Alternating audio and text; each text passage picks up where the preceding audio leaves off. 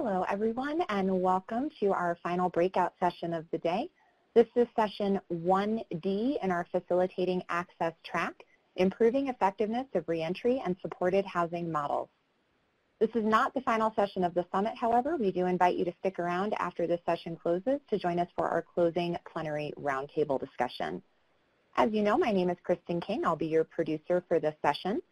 I want to let you know this session, as well as all others in the summit, is being recorded.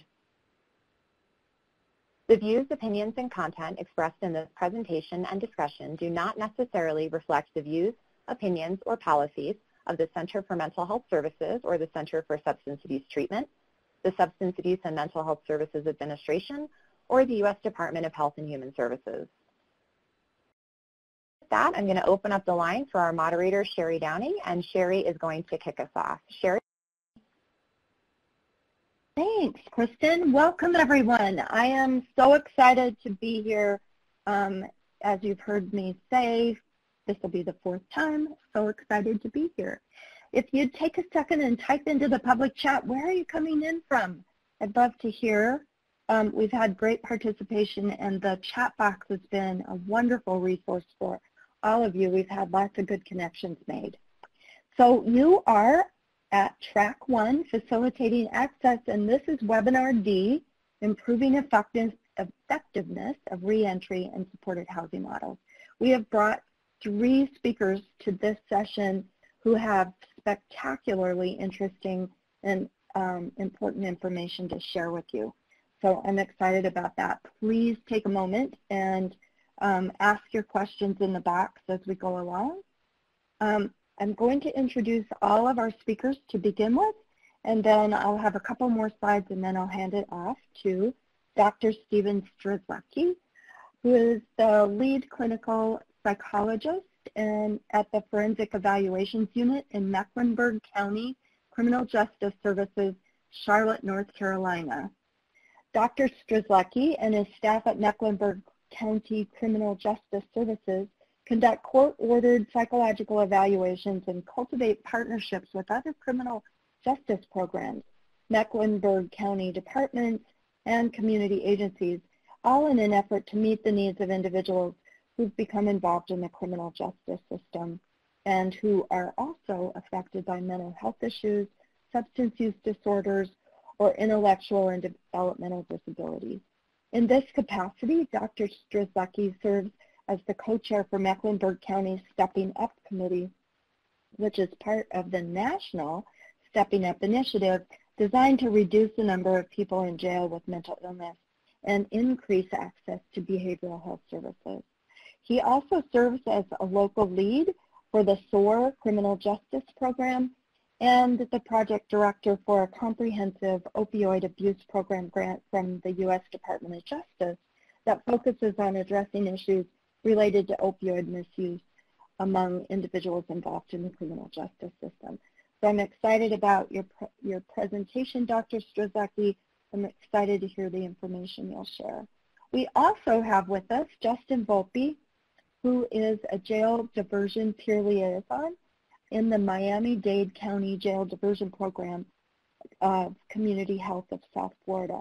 Mr. Volpe is a certified recovery support specialist working with the 11th Judicial Circuit Criminal Mental Health Project Jail Diversion Program since 2008. As a successful graduate of the program, Mr. Volpe has firsthand knowledge of the importance of ensuring the availability of timely, high-quality behavioral health treatment services in the community. After experiencing a series of psychiatric health crises, which led to a period of unstable living conditions, disruption of family and social supports, and brief involvement in the justice system, he became engaged in treatment and support services in the community.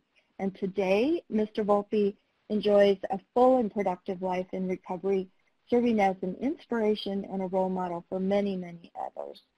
He's been a national consultant since 2011 and has helped train more than 2,500 crisis intervention team officers in Miami-Dade County, Florida since 2008.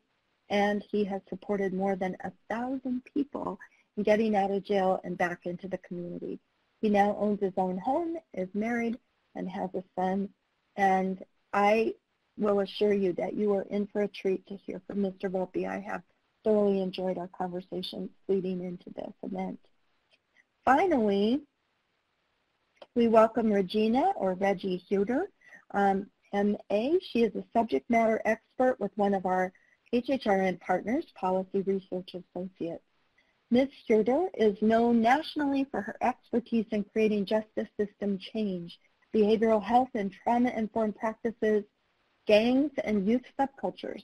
She joined PRA in 2017 to provide training and technical assistance to counties engaged in the MacArthur Safety and Justice Challenge and those addressing the intersection of behavioral health and justice. She has served as the Executive Director of the Denver Office of Behavioral Health Strategies and Crime Prevention and Control Commission and Metro Denver Partners, where she developed adult mentor screening tools, created special programs for young women, and helped create the Gang Rescue and Support Program. She ran the Juvenile Diversion Program at the Denver District Attorney's Office and served on Colorado's Criminal and Juvenile Justice Commission. She currently sits on the Governor's Behavioral Health Transformation Council. She um, was also the Chief Executive Officer for Urban Peak, a youth-focused homeless housing and intervention program. Um, and I'll just tell you that she began her work with youth as a counselor in residential facilities and volunteer for Partners, a youth mentoring organization. She has a master's degree in counseling from the University of Colorado and works as adjunct faculty for Metropolitan State University of Denver. She is the recipient of Nine News, Nine Who Care, and 2008 National Alliance on Mental Illness Colorado Heroes in the Fight for her advocacy. So Reggie, we are so delighted to have you here. I know that everyone is going to be very excited to hear what you have to share. So with that, um, I will tell you that our agenda will start with Dr. Strzelecki, move to Justin Volpe, and be closed out by Roger Huter. Then we'll have time for some questions and answers, so please do keep those coming, and then we'll move into closing. After closing, I really hope that you will join us for the roundtable. The one yesterday was spectacular, and I know that this one will be as well. After today, we are hoping that you'll be able to understand the benefits of using the SSI SSDI Outreach and Access and Recovery, or SOAR, um, tools before people are released from jail. Be able to list some of the housing available to reentry populations. This is something we hear from all over the country that this is really hard to get housing for people coming back to the community after serving time in uh, the correction system understand the sequential intercept model, and be able to describe the housing resource framework. So with that, if you would just take a second and type into the chat box, what do you hope to get out of today's session? What would, what would it mean for this to be time well spent for you? So if you would take a moment to do that, that would be fabulous and much appreciated. I will tell you that we use this information and will use it uh, to inform our TA for the next year. So it's important to hear from you. And with that, Dr. Strzelecki, it's all yours. Thank you so much, Sherry, and thank you for that introduction. And uh, Kristen, thank you for your technical support. Uh, welcome, everyone. Um, we are certainly excited that you are here to join us today as part of this virtual summit. Um, I'm grateful for the opportunity to uh, talk with you today about some of the issues related to the interaction of housing, behavioral health, and criminal justice. I am um, excited to share some of the uh, programs that we have going on in our area in North Carolina to uh, address housing, but even more so to be part of this panel. And um, after I get hand the microphone off to Justin and Reggie, and be able to listen to them talk on their subject areas, you know, Justin brings his unique perspective to the table in discussing uh, innovative and successful approaches to creating and sustaining housing programs. Uh, Reggie is a uh, multi-subject expert. Um, she has a wealth of knowledge and, and, experience in almost every area that you could imagine, mental health, criminal justice, and housing. and we'll be using uh, that background to talk about maximizing and leveraging resources in your community to address some of the housing needs that you would see with your clients. Um, and to get things started, I, I wanted to just uh, cover a couple general concepts that uh, I want to make sure we're all on the same page as in some of the parameters of our presentation, because there's certainly a lot of things that we can cover, and we're going to try and address those um, that we, are most uh, important to the audience. Um, one is just to acknowledge that uh, affordable housing is a, is a nationwide issue. I don't think it matters whether you're in the city or suburbs, East Coast, West Coast, or in the heartland. Um, I think all communities are facing issues with regards to uh, affordable housing for uh, individuals and families. Um, and the fact that we as presenters come from different geographical areas um, all, and our communities are all facing the same issues, I think is a testament to that. Um, I also want to acknowledge that individuals that are involved with the criminal justice system also face additional challenges that are, are somewhat unique. Um, I, I think we, as part of the summit, are certainly talking about mental health and substance use issues, and, and within the criminal justice population, that certainly is a significant issue and challenge.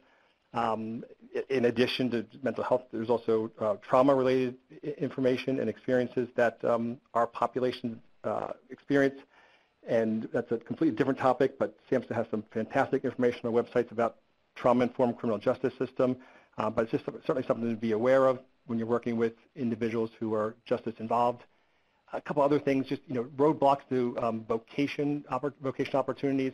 Uh, are individuals who have criminal records oftentimes can't pass a background check or uh, because they're a convicted felon or aren't uh, hired for jobs, and so meaningful employment is, is a challenge, uh, as is you know restrictions to housing. And oftentimes, if an individual uh, wants to live with a family member, they may have a lease that uh, prohibits someone with a criminal background to live there, and so they are prevented from going back home or living with a family member. And so, again, housing is, is a significant challenge uh, for our population.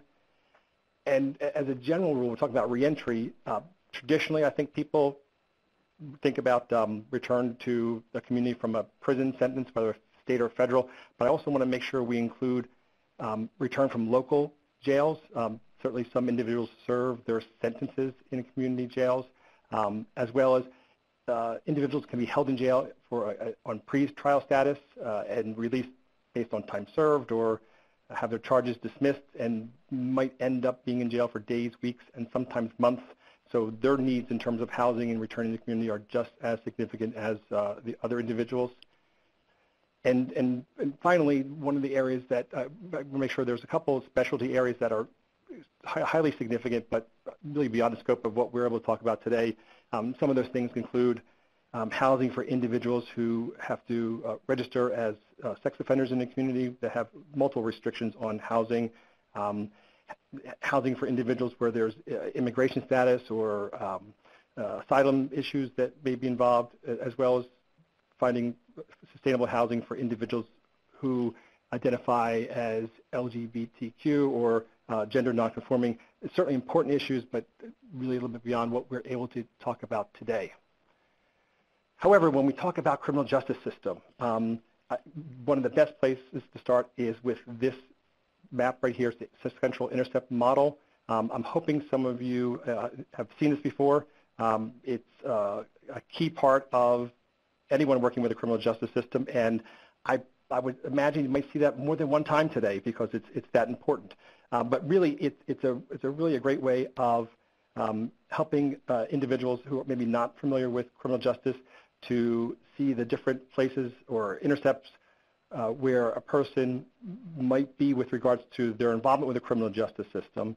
And it's really designed to help communities create responses to the needs of individuals with mental health and substance use issues that are involved with different intercepts within the criminal justice system. And so uh, communities all across the country participate in um, a SIM, sequential intercept model, mapping exercise that can help identify what services are available at the different intercept points for mental health and substance use needs and really help determine where they have gaps in their system to help you know, make informed decisions for the community about where they want to develop uh, different programs and services and where to invest their money based on the needs that this map would show.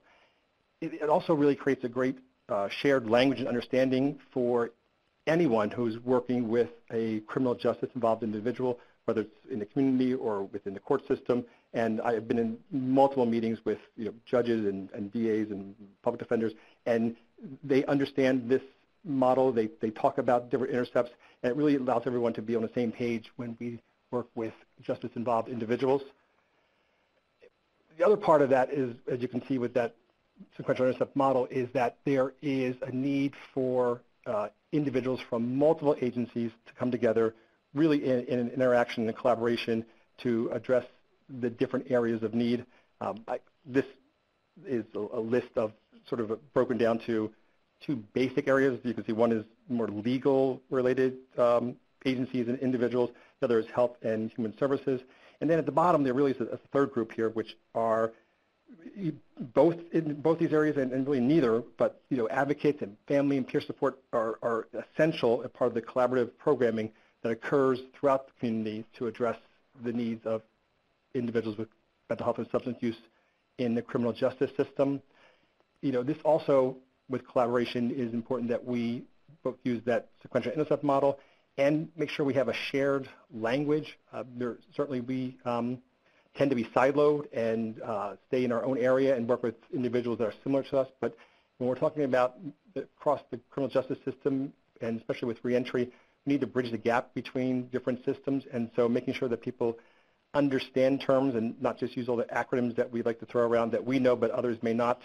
Um, and also make sure we use each other as resources because um, there are uh, areas where we're the subject experts and can share information, others where um, it, we may rely on others. I'm not an attorney. Um, I've never played one on television. I, I wear a bow tie. I'm sometimes confused as an attorney. But having lawyers in the room to answer questions about legal terms and statutes is fantastic.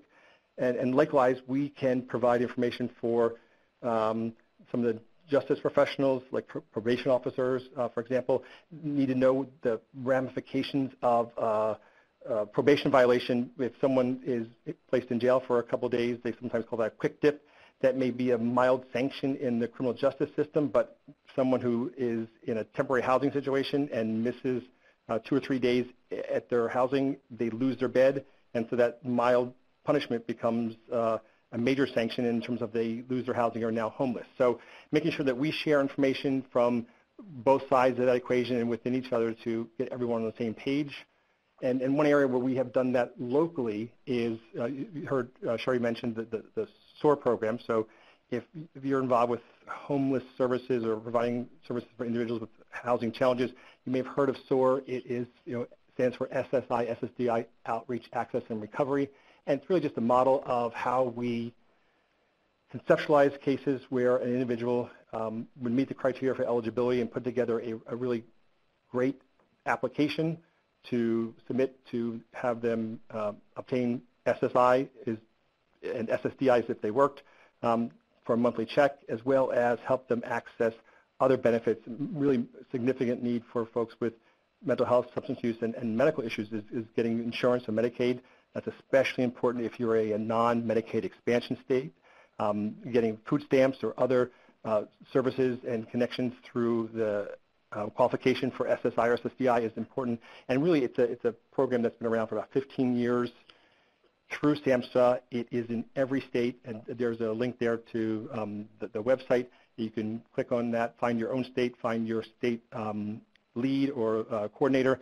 Um, we have a fantastic program in North Carolina and um, a lot of support from the state system that allows multiple areas to be successful um, and has been really tremendous support for our program, which is a, um, a technical assistance grant through SAMHSA, which is a SOAR criminal justice initiative. So really focusing on bringing together those collaborators that you had seen in other areas to focus on uh, a program where they will uh, share information, um, support the program, and uh, help address the needs of individuals with significant mental health and substance use issues and, uh, and also medical issues to allow them to get the benefits to get stable housing as a way of uh, helping them exit the criminal justice system and find stability in the community. And so some, some of those areas include, you know, not just with jail, and, and but criminal justice diversion in the community, uh, reentry services.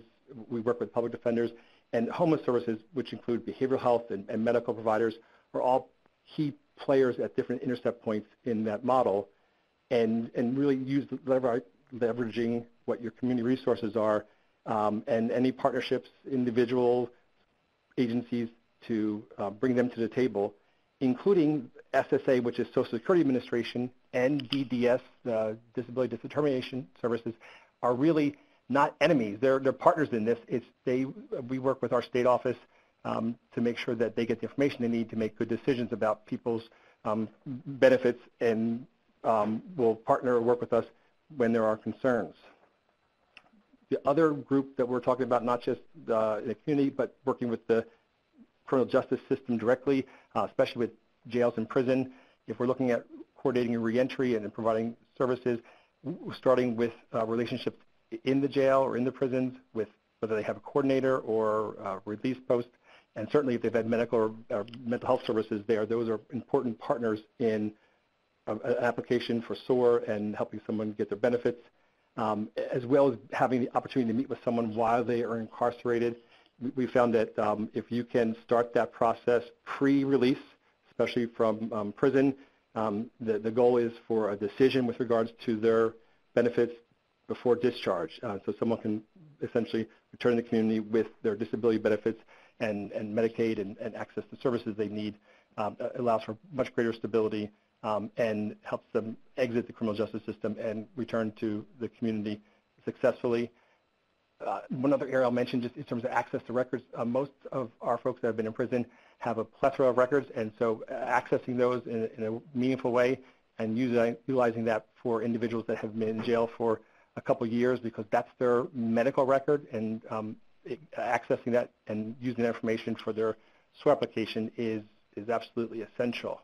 Um, using that sort of collaborative model in, in Charlotte, North Carolina, we, have worked to train individuals at different points um, of this sequential intercept model in SOAR, although not everyone is doing SOAR applications. And so we've, we've made an investment in, in training to help us identify clients at different points in the intercept model so that, for example, the uh, jail inmates program have two trained staff, but they don't submit applications, but they may help identify someone who's currently in jail that may be a candidate and bring that to attention. The Public Defender's Office has two social workers that work with uh, defendants and their families, and they may either submit an application or refer them and, and help obtain collateral information for a application to disability. And we've also worked diligently with our local sheriff and Social Security Administration office to get a local pre-release agreement. So I mentioned uh, decision before discharge. Within the prison system, there's a 90-day agreement, but locally, all the agreements are between the county jails and the Social Security, and so uh, we did not have one. It took us about a year, which is a long time in most people's case, but when you have a lot of lawyers involved, it takes a little bit longer. So I would say persistence paid off, and, and it did come true. And, and well as working with our prison system, uh, one of my staff was fantastic in investigating information and found the central medical records fax number for the state prison system. It's not in the phone book. It's not online, um, but we can submit a request for information signed by the client to that number and get multiple state records, including um, psychological testing that may have been done in prison, but usually it just has a printout of scores versus a report, which is where myself and, and some of my staff come in that we can uh, take those numbers, interpret them in, into a summary to explain those for someone's disability application. And we've also worked with our judges and the prosecutors and uh, defense attorneys to allow us to have a judge sign a court order for a specialized psychological evaluation while someone's being held in, in jail to complete their application for Social Security and then submit a letter to the court that tells them that the evaluation was done rather than have to um, submit the report that may be uh, viewed as detrimental to their case by the defense attorney. So we just have to report to the court that it's been completed, um, knowing that this is for disability to get them out of the system and promote stability and housing in the community, um, which has been part of that early collaborative effort to get everyone on the same page and support this kind of a program. And, and so as a result, over the past two years, we've really had a lot of success with um, our applications. We're at about an 89% success rate. And, and unfortunately, the cases that have not been successful were individuals that were re-arrested and then incarcerated for a longer period of time. Um, so their benefits, their, their application was denied um, based on administrative rules within the Social Security Administration, and we have housed 89% of the individuals um, who have been awarded benefits. So again, promoting stability in the community um, through this sort of a collaborative effort. Now what I'm going to do is turn this over to Justin, who is going to talk really a lot more about creating and sustaining uh, housing programs in the community, as well as some of the fantastic long-term success, success, they've had with the, their SOAR program in Dade County. So Justin? Hey, how are you? Thank you. Thank you, Stephen, so much. Um, I want to talk a little bit about my program here in Miami and then talk about um, our housing issues and, um, you know, what we do every day. And, and the program, the Miami-Dade County Jail Diversion Programs, gets people out of jail with uh, low-level felonies and all misdemeanors. Most of cases are pre-adjudicatory which means they haven't been uh, convicted yet. We deal with some probation cases, but everybody in our program has been diagnosed with a serious mental health issue. We um, have people that screen them inside the county jail, and um, they are assessed for our program, and we're given what, what needs that they have would fit their their qualification in the community, and we get them into programs or whatever they need to do to get better upon agreeing to work with the jail diversion program, they have to take medication, they have to stay clean, they have to stay in some kind of stable housing. And if they do all of that within the, the time, whatever the state attorney de- depends what, what case by case basis, their charges will be dropped. So it's a good it's a good program. It's helped a lot of people. I've worked there the past 12 years and I've seen a lot of changes. I'm going to share a little bit about my story, how I got here today and a little bit of the work we do. It's it's rewarding work, but it is tiresome, and we do, as good as the program is, we do have a lot of struggles. Uh, that of which is housing, and um, I w- was on a couple of uh, presentations yesterday, and it, it's amazing how big this struggle is across the country right now. So when we get people out of jail, we can send them to treatment programs but one of our old options was assisted living facilities, uh, ALFs, as they're called in Florida, and they're typically have raised their prices to 1,800 to $2,200 a month. That's for somebody that needs more stability, that needs to be given their medication, that won't take their medication on their own every day. But we all know a typical Social Security check, at least SSI in Florida, is only $750 um, we found prices have gone up so much over the past decade because they found that serving people that are more elderly and had Medicare and they could get more subsidy for housing, they made more money. And, you know, honestly, it's an easier population to deal with, that somebody that's elderly than somebody that's maybe psychotic, using drugs or alcohol, you know, leaving the facility and it's a, it's an easier business. It is a business at the end of the day, unfortunately. So we don't use these very often anymore.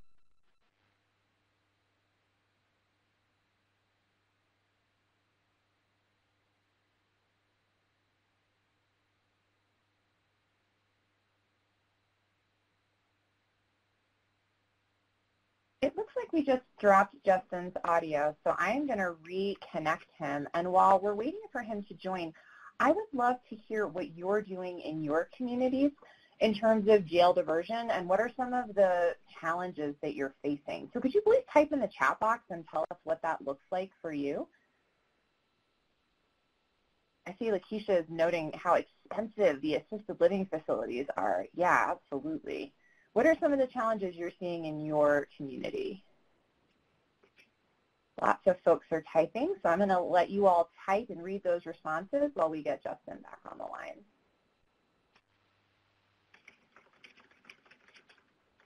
And if you have any questions for Justin or for Steven so far, please go ahead and type those into the all questions box, and we'll get to those as soon as we hit the Q&A period. Absolutely. Thanks, Kristen. You're welcome. So I am seeing I am seeing lots of responses here. Um, this is complicated. So I think that all of your comments really do um, underline that. And lots of places are saying the ALFs are expensive. They also, um, you know, can be a much more restrictive setting than many people really need, especially after they've been stably housed for a little while. And this is moving so quickly that um, it's hard to actually read. And this is something, Stephen, that I think we'll be asking you when we get to the question and answer is... Yeah. Um, Go ahead, Sherry, I was listening. Oh, good. Yeah, no, I just think people are asking about if people have been incarcerated or in an institution for more than 90 days, they are no longer considered chronically homeless by HUD, right. and so it can be difficult to get them into housing. So um, right, and that's I'm giving the, you the, heads the, up. Yes, and I, I know Reggie will, I think, touch on some of these as well. But the, the, the federal government and some of the programs, they aren't uh, consistent. Um, so, so, for example, with, with SOAR, um, in terms of the, the housing um, criteria for being homeless and or, or at risk of homelessness, you know, being incarcerated puts someone in that category.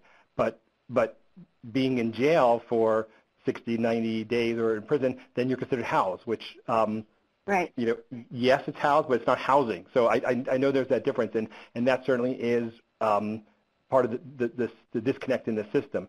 I, I noticed a couple of questions. I'm, I do not think I can address all those. Um, one had to do with access to uh, records for, for jail and, and certainly prison. And I, I completely agree that it is a, a very difficult, arduous task. Um, we, we try to get those for individuals' records out of state where, you know, we, we struggle and um, we end up uh, paying for them if we can, if, they, if they'll do that, right. and, and sometimes get, but that's, you know, that's the only way if we need those. Um, but within the state, we have, again, we've been fortunate, and really it was, I'll be honest, it was a lot of legwork to, to make some connections with, you know, both with like mental health providers in the, in the prison system, and then through them get connected with medical records, and then medical records uh, get our state SOAR um, office involved. And so we have a, a, all, that support connection so that we um, are all on the same page. And so you know, using their release can send that that is signed by the client um, to access, get copies of their state prison records, um, especially if they've been in for a couple of years. Those are essential because that really is their medical and mental health record. Um, they don't have one in the community. Right. Uh, Thank you. That, sure. Yeah, thank you. And we'll go into this some more at the end, but I believe uh, Justin is back with us. A co-moderator has joined okay. the conference. There we go. Stephen, thank you for that. And Justin, you are back on. Can you? Okay, I apologize. I don't know what happened. No I don't know worries. where I cut off, but it uh, hung up on me. If the county forgot Darn to pay its phone bill this month, you know, it happens. Um, but we're talking about ALFs, and um, they're just, you know, we don't use them as much anymore. We typically are putting people in independent housing facilities, which are any on average 650, the decent ones, and that leaves people with some money left over from their checks. These are shared housing arrangements, maybe two or three to a room. Um, people putting their food stamp cards to, to share food at the house, and sometimes they have a designated cook. Or there's some that are better than others, though, and the better ones have clients that stay longer and are harder to get into, and the ones that don't have um, such a good reputation always have availabilities, but in not the best neighborhood for sobriety to try to get clean or um you know we have issues with the um housing managers because of the way they run things. And unfortunately some people are not in this for the best of our clients. And um it is a business. But um we send people to treatment programs but after they get out of the treatment programs where do they go? If they don't have social security if they don't have family to live with, which many of our clients do not have, they have very strained family uh, problems, and you know um, they're in the criminal justice system, usually not their first time. After they finish the treatment program, they'll stay in treatment longer. We see people staying in treatment longer and longer because they have no place to go. And what happens is we see that people um, they miss their they miss their mark, is to say, you know, you, you hit that high point in treatment, you're ready to move on to the next step, but you can't. You can't. Um, they find jobs, but let's be honest. I saw a slide yesterday that said only 22 counties in the United States can you rent a one-bedroom apartment at minimum wage, and here in Miami, making eight or ten dollars an hour, you're not going to get even a studio apartment for that. So. Um, we work with homeless shelters, and they are very filled and hard to access. Some of these programs are only 45 to 90 days, and they have a lot of access to permanent housing through the homeless shelter if you you know get the right case manager the right social worker and get in the right programs and which is great that they can access long-term housing not this isn't an abundant thing now but what I wish is that for people coming out of treatment programs, stable could access this housing as a as a reward. And the system's a little backwards in the sense that we'll get somebody off the street and they might not be stable in any kind of treatment, but we can get them to, into housing faster than we can get somebody that's been stable in a rehab or uh, you know for three to six months, and they'll have difficulty, and then that can cause them to relapse again without that stable housing. You know, it's a human right. And then when we do have people get maybe 30% or something like that, 30% rent, um, people to help with first or last last month security deposit programs, um, we have issues getting them in because of you know their backgrounds, and it's just a struggle. It's just a struggle, and people want to live in better neighborhoods than they can afford, you know, um, you know, we talk about these ALF costs. That's that's more than a mortgage. I mean, it's ridiculous, you know. But in Miami, things are expensive, and you know, we want the best for our clients, but unfortunately, we're dealing with a broken system here. So the one thing I want to talk about, what Stephen was talking about, is uh, SOAR. Um, we have two entitlement specialists currently that work for our program that all they do full time is apply for disability for people. Um, we started this in 2007 in our program, in the jail diversion program, and that was the court specialist or the, the case manager. So on top of 100 some cases that a case manager would be managing with the court, they would have to apply for disability on top of them. And it was, it was a very hard task to do, to manage all the records, to do interviews with people. But um, in 2011, we got a grant from the Florida Reinvestment Grant for three positions, and um, you know they sustained that grant, and now we have two full-time positions, and they only started keeping records in 2013. But since 2013, the records have showed that we've completed 631 applications. We have an approval rate of 90%, and average days to a decision is 43, which is amazing um, because we're picking the right cases, people that are deserving of disability. Through the process, through the screening tools we're using in the jail, we're getting to, to know the true history about somebody, and we're not just applying for everybody. You know, this isn't just a everybody gets a check. It's if you're actually disabled, we have a way to write things to make it come out so that so the outcome is better. And just to show you, the national average is 65% approval rate, and the Florida approval rate is 66%. And I just want to tell you, uh, I'm a little short on time, but I want to tell you just personally, I'm an ex-client of jail diversion, and I, uh, it was 12 and a half years ago. I was in an unstable part of my life, and uh, I went through the criminal justice system. I was forced into treatment, at least it felt like I was forced. And throughout that time, I was the first SOAR candidate for our program in 2007. Um, the now director, before we had any other positions doing it, applied for me, and um, you know, I didn't want it. I didn't. I, I had always worked. I had always worked full time and held a job, and I, I felt it was uh, stigmatizing to receive some sort of government disability, but um, I got approved, and um, you know it it was it was amazing because not only did I get approved, um, I got an apartment, and you know something about safe, a, a stable, safe place to live with a guaranteed rent payment. You know, as much as I didn't want it at first, you know, I uh, I had my own place again. You know, out of jail, and it was it was amazing. You know, I had I had a place to rest my head and be safe, and to take my medication and cook my meals. You know, um, it helped me stay on track with my appointments. I had a place to get mail. I had a place where I could, you know, come home from, you know, and be safe. And, you know, it helped me gain meaningful employment. After I got disability, I got SSDI, which is based on work disability, not SSI, um, because I had worked so much before uh, my, my crisis.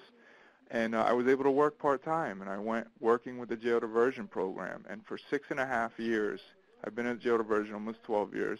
For six and a half years, I worked part-time while collecting disability, and um, it helped me, you know, live a fully life again. I, I gained stable relationships. I got my family back. I now have a uh, a, a wife and, and son, you know, and um, luckily, you know, I kept on looking, kept on looking. Um, I was able to cancel my disability five years ago and um, work full time again and this is this is how these things work and the system is meant to work it's not meant to be a permanent thing to rely on these government resources but it's to get people back on their feet again. And you know this program may have helped a lot of people but it's truly helped me and I'm able to give back to the community. So as much as the housing struggles are um you know it's if you um if you play your cards right you know you can and you stay out of trouble and stay in the right treatments, you know, you don't have to go back and be in a housing crisis again. Now, I know this is a, a good outcome, but it, there are good outcomes out there as much as um, as many crises as we are going through with housing. And um, you know, I um, I want to thank you guys for having me. Let me share. I want to pass it to Reggie, so she can talk a little bit about um, housing. So thank you so much, and go ahead, Reggie. Thank you very much, Justin and Stephen and Kristen and Sherry. It's really a pleasure being here. Um, as, as already has been stated, across the country, housing is one of the top issues that is raised, especially for those living with serious mental illness and substance use disorders who are justice involved. As Stephen indicated, the sequential intercept model, or the SIM, is a very helpful tool to understand um, housing needs and options at different stages of the justice system because we know all too much that individuals with a history of incarceration are more likely to experience homelessness, and those who are homeless are more prone to arrest and incarceration, especially for misdemeanor or quality of life types of offenses. So I'm approaching this particular set of slides from the vantage of um, not a housing provider, but someone who is working in the justice system and the behavioral health, mental health, and substance use um, services. And uh, what I really would be trying to convey is how do you leverage and maximize services uh, and how do you really partner with housing resources. I look at housing in that kind of stages. If you think about this um, in uh, zero and one, it's really that crisis and emergency. Uh, two and three is more kind of um, some of that that permanent supportive housing. I'm going to be expanding on a lot that Stephen has already talked about um, of his great work in Mecklenburg County um, and really using a housing framework. I'm trying to, oops, I'm trying to forward the slide here. There we go. So um, as a part of um, maximizing and leveraging housing, um, one of the first things I would say is get active. So a lot of times what I hear is, well, housing is such a problem, but nobody from the justice or behavioral health side is taking ownership of that particular issue. So um, I encourage everyone to move beyond what I would call scarcity thinking. In other words, thinking that, oh, it's a problem, but we can't do anything about it. But instead looking at what you do have, because you might be surprised about the resources that are currently available to you. I would suggest that you start with creating a housing inventory, looking at both those mainstream options as well as those non-mainstream options. So create a, a spreadsheet, um, work with different partners, and identify the different program names and the contacts, the populations that different housing types of options serve um, by age and gender, veteran status, American Indian, um, status for tribal support? Um, is housing providing single or family housing? Do they accept animals? Um, do they accept people with criminal history, sex offenders, as Stephen talked about? Do they serve domestic violence survivors? Do they work with those living with mental health and substance use disorders? What's the location? I always geocode all the housing to look for opportunities to co-locate resources and coordinate case management and care navigation services. What's the eligibility? For example, can someone on medication-assisted treatment or MAT protocols be in that housing? What types of housing is it again? Crisis, transitional, rapid rehousing, permanent supportive housing. How is it funded? Talk more about the alphabet soup later on, but there's all kinds of different funding resources. And then what is the housing and what's the capacity of the housing? Coordinated housing is a, something that's happening right now across the country. Um, but one of the things um, uh, that's used often is a VI-SPDAT, which is the Vulnerability Index Service Prioritization Decision Assistance Tool. Whew, what a name. Um, but basically, it's a way to help coordinate housing um, for the most vulnerable. It's really based on a medical need for housing. Um, I would be finding out who can complete that VI-SPDAT. For example, can probation or co-responder or detox or mental health providers and substance use case managers be able to do that um, VI-SPDAT? Where does it go? Um, and making sure that people know once it's completed, they actually submit it and turn it in in order to be able to have their clients be prioritized. How is housing matched? A lot of times what we see is that you've got housing, things like permanent supportive housing, but the actual level of need of the persons in that housing may actually be able to benefit from a lower level, less, more subacute type of level of housing. But because, um, and especially without coordinated housing, you have individual programs that are prioritizing their housing. So who might be highest on my list may not be the highest overall that needs services within a community.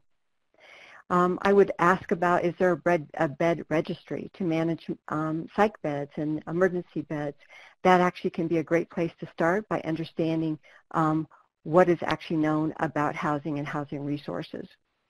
Um, and then I would always advocate that you get everybody on the housing list, um, regardless if there is coordinated housing, uh, because sometimes you just got to advocate for your folks. Um, the folks that I would be inventorying are, um, again, crisis services, looking at how long are folks actually staying in emergency department or hospital. Um, what's going on in crisis stabilization centers. They sometimes can have folks um, by certain kinds of crisis up to seven days, sometimes um, 15 days. Um, but I would also be inventorying where are the hotels and motel vouchers going and who accepts them and what are the primary hotels and motels that are being used. Um, where are the emergency shelters, um, what their criteria is and who do they serve.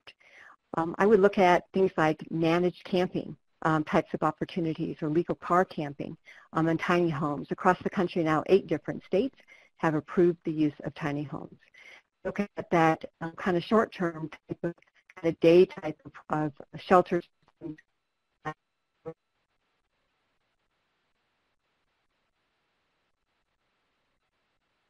Get off the streets.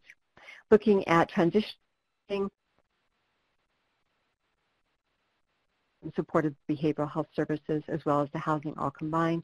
These are great tools for people who are jail, but also in lieu of jail. Uh, looking as, as Justin was talking about residential treatment centers, how to use them to step down services and also as an alternative to jail. Um, and then looking also at halfway houses. A lot of times different states have the use of criminal justice involved halfway houses. And how do people step out of those particular houses?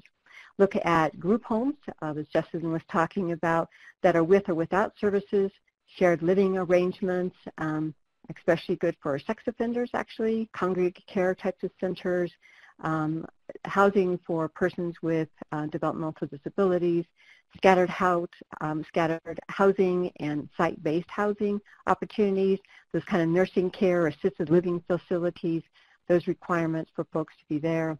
Recovery housing like Oxford Housing, um, looking at uh, housing that's run by your housing authority, permanent supportive housing, and housing government is maybe paying for or programs are helping to offset that huge difference between what the federal government will pay for housing and what the actual housing rent go, is going for. Um, I would always look for landlord liaisons and who I can help uh, bring in to help partner with me in housing. And then also um, include who's currently on FUSE types of housing, which stands for Frequent User Enhancement um, Initiatives, usually three or more stays in forensic assertive community treatment, um, as well as respite care that are serving specific kinds of populations. So that's kind of the folks that I would be including in my housing inventory. Um, then I would meet um, specifically and directly with each one of those um, housing providers on a one-to-one -one basis. And also I would have cross um, meetings, convene meetings with justice system, behavioral health, and housing providers all together to talk about the um, both the gaps, but also really what the opportunities are to partner. I would want to understand what the housing rules are, how you can best partner, um, looking at, again, that uh, thinking of housing as acute, subacute, and step down, and who's actually in those different levels of housing, and how to um, uh, cross-train staff in accessing housing, um, but also in housing providers accessing mental health and substance use services and how to work with the justice system, as Stephen was doing a great job in talking about. I would be um, looking through, uh, working with the continuum of care, so actually meeting with them, um, review the point in time that is done, and how does it reflect, if at all, justice-involved individuals and justice-involved individuals living with mental health and substance use disorders. Um, and I would make sure that um, people who are in jail on probation and detox are all counted in that point in time that often is going to take a partnership with them. Um, I would seek to be on the continued care board um, or at least attend meetings um, and advocate for justice-involved populations. Uh, and then every uh, uh, community or every state is going to have an annual housing forum. And so I would want to attend that housing forum and actually ask to present at that housing forum. Uh, I would want to work with and review the local housing authority rules and uh, compare them to the HUD rules about access to housing. Um, read the local tenant protection laws and make sure that those laws are being created to support folks. By the way, mention of of funding um, to help support people so they don't lose their housing want to address what criminal history landlords can actually access. They can, if they are allowed, to access full criminal histories, teach them actually how to read a criminal history so that they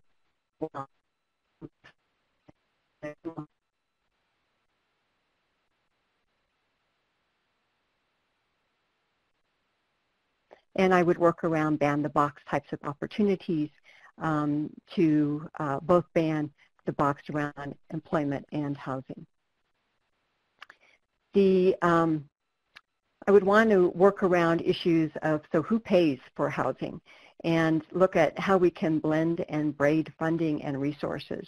Um, you don't have to be an expert in the alphabet soup um, between VASH and FUPS and ESGs and um, KBRAs and PSH, but what you do have to know is who is and help get to make sure that they're at the table um, look at uh, Medicaid, even if, if folks um, do have Medicaid, look at how transition services and sustaining health services are actually being used because Medicaid won't pay for bricks and mortar, but they can help pay for some of those transition and sustaining health services.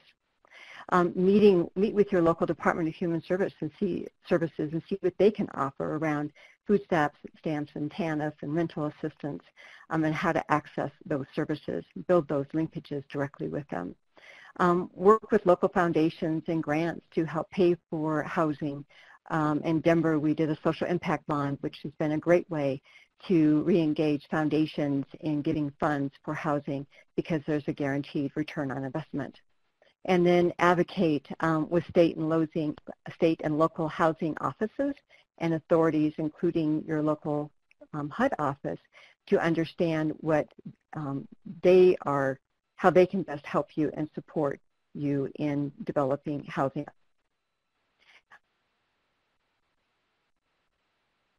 And the consequences around the justice system.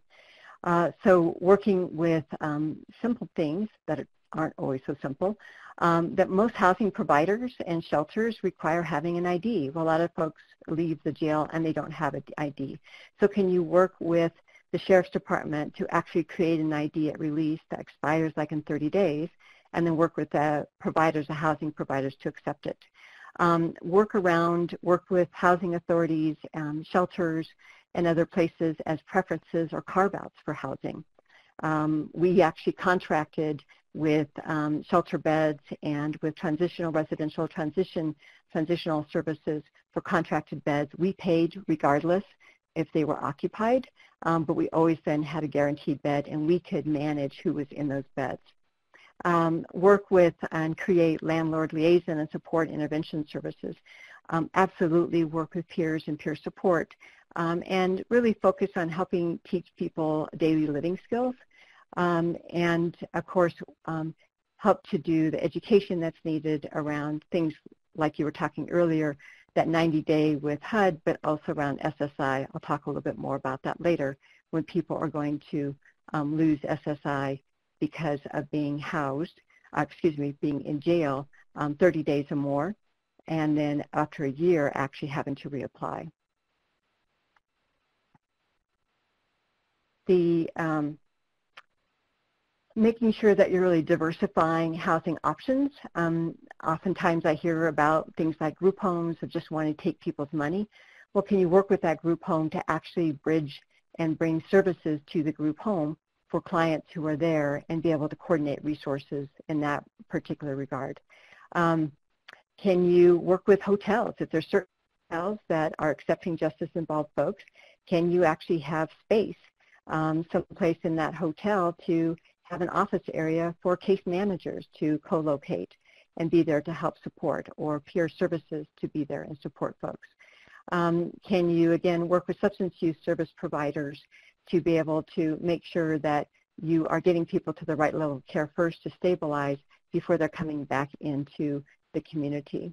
Um, create kind of a universal set of questions to ask, uh, and I'll talk about more of that later on um, but also creating a universal discharge policy and form and um, creating an information sharing sheet that has an opt-out instead of an opt-in um, part of it so that you can help move forward with folks being able to actually give permission to um, access services and to coordinate on their behalf. Um, think about being an air traffic controller, something David Covington talks about, where you know about where um, this person has been, what are you doing with them now, and where they're going, and always thinking in terms of the first day, week, month, and up to two years to help support folks.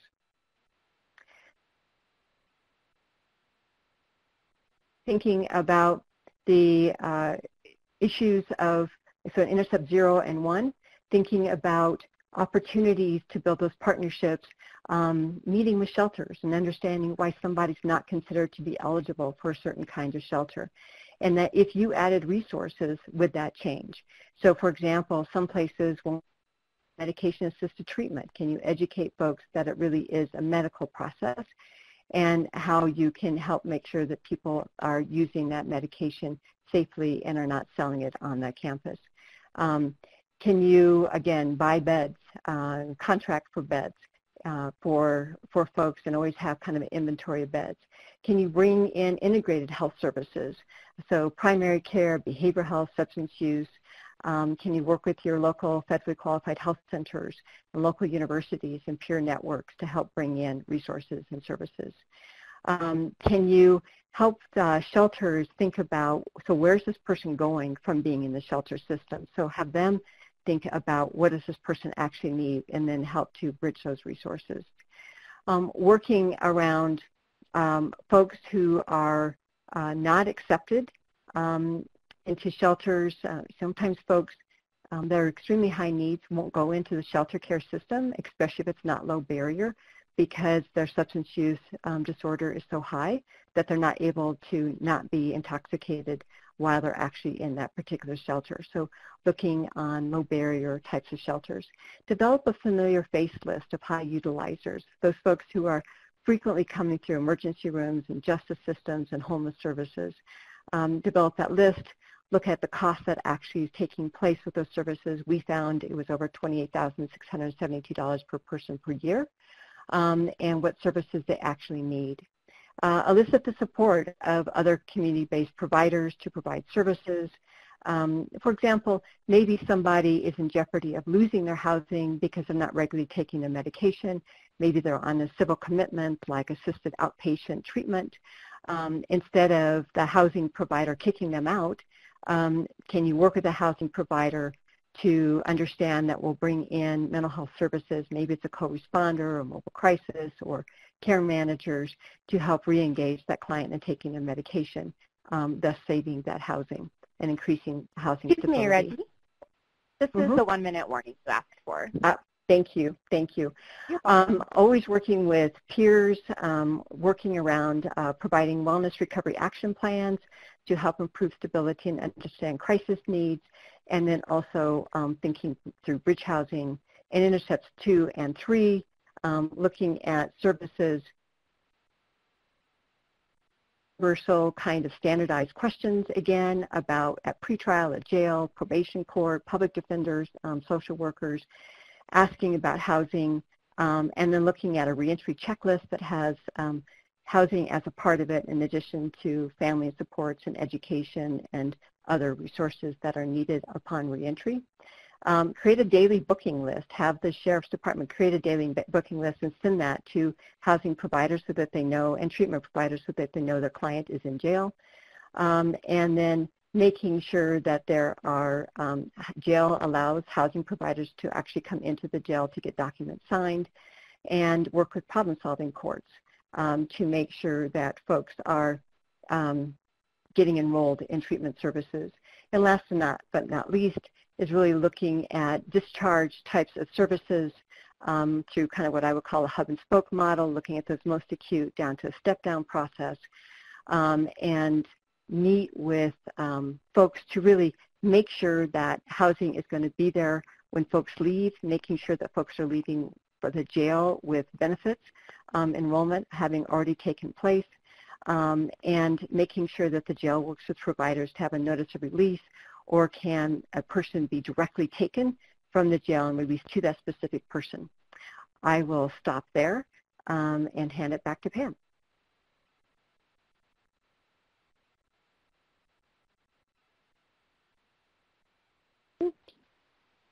Hi, everyone. Thank you. That was fabulous. There is so much information. I've learned a lot. So thank you for um, thank you for all of your expertise and um, I know that you also provided a thank you to SAMHSA, so here we go. Um, we're going to move into just a few questions and discussion points. Um, we've got a lot of questions and about nine minutes left. So let me um, let me start with this. And I will direct it to one of you and then please, if you know, please hand it off to your colleagues um, for additional information. So I find this, um, the SOAR model with justice-involved folks fascinating. And Stephen, you started to talk a little bit about this before. If somebody's been in jail for 90 days, they've lost their, um, you know, their um, label as chronically homeless when they get out because they've been housed. Um, it isn't it isn't a home, but it has been stable housing, either in an institution or a jail. So do you have any tips on how we can um, manage that problem? Well, I think there are there are a couple of things. One is with regards to um, applying for SSI or SSDI benefits um, through the SOAR process, if someone is incarcerated or um, or recently incarcerated, uh, you know, they are eligible um, under the SOAR criteria to apply for benefits. Where, where it's the HUD definition of, of homeless that comes into play where then they don't qualify for uh, housing as, as chronic homeless. I think one of the other things with that is where you work with that that collaborative team. So helping you know the, the district attorney's office, the prosecutors understand that um, if you place someone in jail for X amount of time, or um, you know, the, the sentence, if, if they're in um, for more than a year in prison, they will lose their uh, SSI benefits versus if it's less than a year, they'll, they can have them turned back on rather than have to reapply when they come out. And so the same thing around you know the homelessness. Not, not that we want people to be homeless, but if, if we're housing them in jail, that is not housing. That is that's incarceration. So right. if there's alternatives, uh, looking at um, you know alternative sentencing, um, you know, probation, um, even if it's uh, through a treatment program that maybe if you have, if you have uh, mental health courts or, or drug treatment courts as, as, alternatives to then going to incarceration because then you um, are putting someone in another category and they lose potential benefits of the government in certain areas. Thank you. Reggie, do you have anything to add to that? No, I think that Stephen covered it all, and that main point that he brought up of working with the criminal justice system to educate them about those rules around that 90 days, days and 12 months. Absolutely. And I love um, the idea of getting the SSI, SSDI benefits before release. I know we did a little bit of that when I was um, working on the SOAR program here in Montana and, that, and um, trained transition workers at the prisons um, on SSI and SSDI. It's a wonderful resource. Uh, Justin, this was a question for you. I've got a couple questions for you. So um, how long, one of the questions should be a pretty fast answer, but how long are your pre-trial trial clients required to stay drug and crime free before the charges are dropped? Hello, can you hear me? We can. Okay, great. It depends on the case, um, and it depends on the state attorney. With felony cases, they're usually at least 12 months, and it's not a perfect 12 months. Relapse is part of recovery. Missing appointments is part of recovery. Uh, when we see repeated patterns and when the state attorney sees repeated patterns and um, more uh, maybe new charges, that's when things get complicated but people are given multiple chances. Um, what we see less time, less than 12 months, is usually misdemeanor cases. They're usually maybe four to six to. I mean, it depends per case, per charge, per victim, if there's a victim. Uh, domestic violence cases, we see, even though they're misdemeanor, uh, we see them take up to a year as well. Thank you. That's helpful. Um, this one, I'm going to have you start with this one, Reggie, because you've got a really great perspective on housing. I loved something that um, you said early in your presentation is you, we all need to move beyond scarcity thinking. And I think that a lot of the information you gave us really urges us in that direction. So that said, is there any advice on how to best house clients who have been in an institution which could be jail or prison, or I think even a, you know, a mental health facility for more than 90 days. Um, are you thinking mainstream vouchers, flexible housing pools, master leasing? I know that in our um, local housing authority, we have a homeless preference for some of those Section 8 or housing choice vouchers, but oftentimes these clients can't access those. So thoughts on how to get people into housing? So again, I would look at the level of acuity of that particular person, not so much just the justice um, system involvement, but mental health and substance use. So if they are a person that um, has less ability for self-management, self-regulation, being consistent with medications, so they're more kind of at an acute or subacute level, then I would always look at permanent supported housing um, where there are support services that are directly available versus those who maybe are at a more step down um, that could be a, a, bridge housing first and then moving into kind of longer term um, uh, either subsidized um, rents or kind of um, just other levels of, of housing as they get on their feet. So looking at the acuity level of the person is where I would start. Thank you so much. Um, here's another question for you, Justin. How did you get your state attorney's office on board with a diversion program and dropping charges? Um, this individual says they have problem-solving courts, but there's no agreement to dismiss charges, which can create further barriers to housing, employment, and long-term stability. And I think um, we've only got about three minutes left, so if there's time after you answer, we'll get we'll get Reggie and Stephen to weigh in. Uh, three things real quick. Uh, a, we have Judge Steven Leifman, who has uh, talked uh, intensely over the years with the public defender and state attorney's office to help make this program work. And um, they know, our state attorney knows it makes the community safer. Um, I, do, I do want to clarify that not every case is completely dismissed. If you have many prior convictions and certain prior convictions, it will be um, a withheld adjudication which means it'll still be on your record, but it won't be a conviction. So there is a difference. If you have uh, no process before, um, or dismissals before, or no previous conviction, it will be no process, like it never happened. Wow, that is great. Any further insight on how to get this started in your area with the, you know, getting the state's attorney's office on board or I would uh, I would promote recovery and um, and tell them to uh, to email me and I'll try to hook you up with uh, my bosses and uh, maybe they can we can send you some resources in Miami to show, show what we've done. But to, just to, to go to their meetings and to, to make time to contact them and and and learn the statistics of your community your barriers what what really shows to be a difference. You know talk to NAMI your local NAMI chapter um, just bringing the community together and, and just getting a dialogue to the table is even a start. Thank you.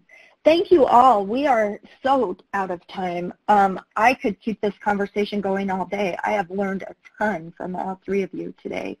So thank you for that.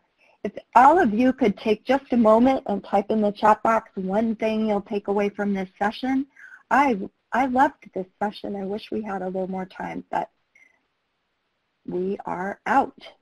Um, I would remind you that SAMHSA's Homeless and Housing uh, Resource Network provides technical assistance and support. There are opportunities there. I encourage you to reach out if you need um, if you need technical assistance or training. I would also say please do give us your suggestions in the suggestion box and in the evaluations you fill out because we will be mining those for ideas for TA and training next year and events like this one. Again, thank you to our fabulous speakers. I am so impressed with all of you and the depth of knowledge is just breathtaking. So Stephen Strzelecki, Justin Volpe, and Regina Herder, thank you. And with that, I will encourage you to please attend the roundtable that's coming up next. It will be fabulous.